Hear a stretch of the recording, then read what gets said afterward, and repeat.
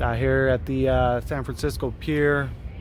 You know, me and my girl went out on our first date. About to show her my my boat. yeah. All right.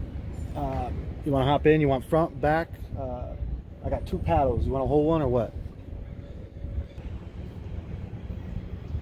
What?